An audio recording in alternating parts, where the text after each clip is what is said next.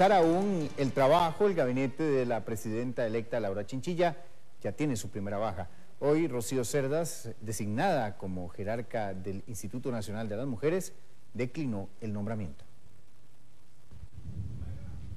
La decisión se tomó luego de que saliera a la luz pública que Cerdas se enfrenta a un proceso administrativo en la Contraloría General de la República, presuntamente por ejercer como abogada y a la vez como funcionaria pública cuando la ley de enriquecimiento ilícito lo prohíbe. En su carta de renuncia, Cerdas dice que no es prudente que asuma una posición hasta que el proceso en cuestión no haya finalizado y la actuación haya sido aclarada. Hoy, ocho organizaciones femeninas pidieron a la presidenta electa la renuncia de Cerda del cargo por estar ligada con un proceso de investigación.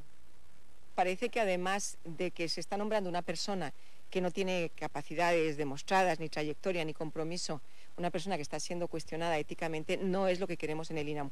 No tiene ninguna trayectoria, nadie la conoce, nadie sabe, es inexplicable por qué una persona como ella, que no tiene ningún currículum que tenga que ver con derechos de las mujeres, ninguna trayectoria es nombrada en esa posición.